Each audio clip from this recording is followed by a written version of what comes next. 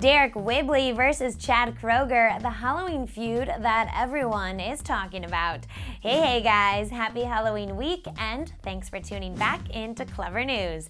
Avril Lavigne's ex-hubby Deryck Whibley used Halloween weekend as an opportunity to take a swipe at her new fiance.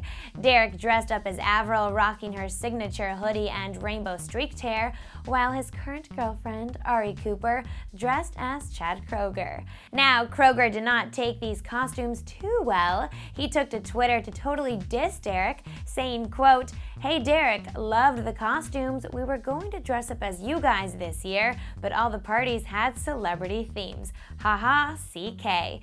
If you'll remember, Whibley and Lavigne filed for divorce back in 2009, and news of her engagement to the Nickelback rocker surfaced this August. Now, I want to hear from you. Are you Team Deryck and Ari on this one, or Team Chad and Avril? Leave me your thoughts by commenting below, and then make sure you like this video, favorite it, and most importantly, subscribe to the channel because, well, we love having viewers like you.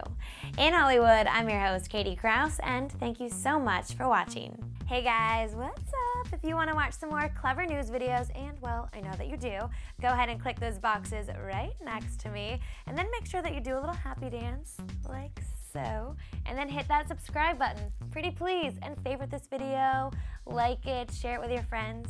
Thanks.